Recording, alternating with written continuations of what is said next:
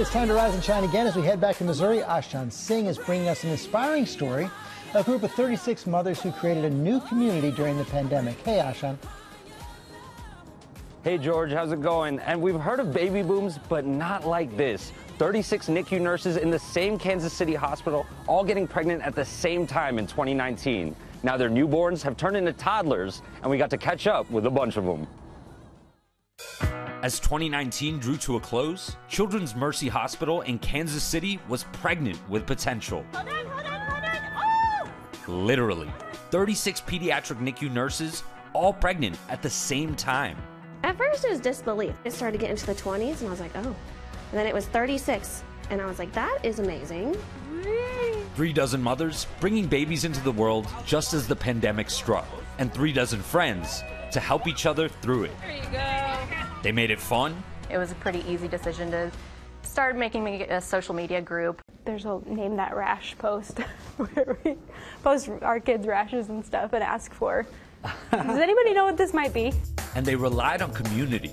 All the babies were born in 2019, Yes. and then the world shuts down Yes. in 2020. Ephraim was born in August, um, so he was about seven months old when Kansas City shut down. So it was a time where I was finally feeling confident going out and doing things with two kids because he's my second, and then the world shut down. We threw a reunion at the hospital with about half of the 36 moms, now part of a sisterhood. Like any toddler, it's their job to play, get a little excited, run around. So enough time has actually passed since this round of babies were born that ones like Enzo are actually turning into big siblings, right, Enzo? How's your little brother doing? Addie was one of the last of the 36, right? Yeah, I think there were just three or four that were behind her. What was it like seeing all the kids all together uh, at the playground? It's nice to kind of see everybody at once instead of just one or two at a time. Did you have fun playing with your friends at the park? Yeah. What has that support system been like? Just having people to be like, hey, I know you're tired because you have a baby at home and a toddler.